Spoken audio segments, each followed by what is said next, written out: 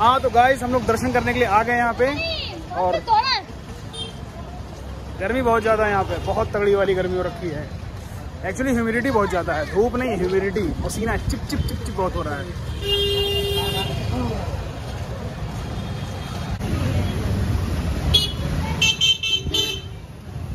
Guys अभी problem हो गई। हम लोग को पता नहीं था। दो स्लॉट पे रहता है टाइम अभी क्या है कि दोपहर के डेढ़ बज गए और साढ़े बारह बजे ये बंद हो जाता है. फिर साढ़े तीन बजे दोबारा खुलता है.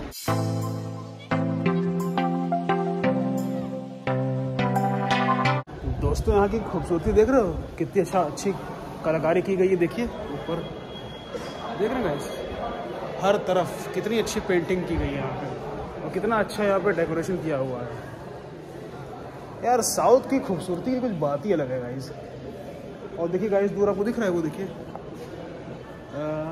रुको एक घर दिखाता हूँ। वो देखिए। हाँ वो दिख रहा है गाइस वो। जैसे वो एक उसी तरह एक उधर भी है। दो और एक जहाँ से मैं आया हूँ वो तीन।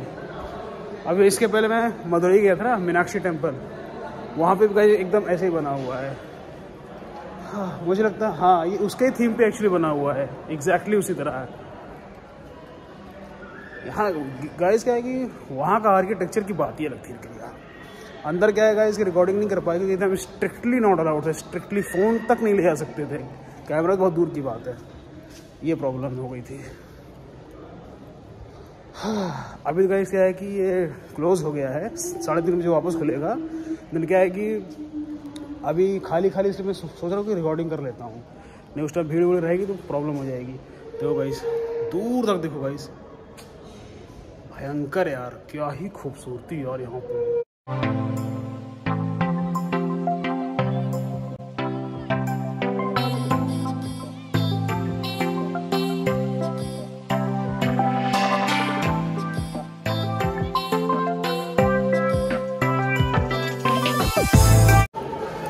हम लोग आज फिर से आ गए हैं, वापस यहाँ पे।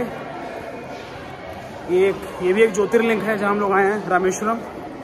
और अभी बज रहे हैं शाम के साढ़े चार, हम लोग आए दर्शन करने के लिए गाइस और भीड़ बिल्कुल नहीं, एकदम खाली लग रहा है यार। और गाइस वो जगह बहुत तगड़ी थी, लेकिन यार, जहाँ पे गए थे लास्ट पॉइंट पे। एक्चुअली दो तीन घंटे टाइम मिल गया ना, साढ़े बारह से साढ़े तीन के बीच में, दो घंटे का।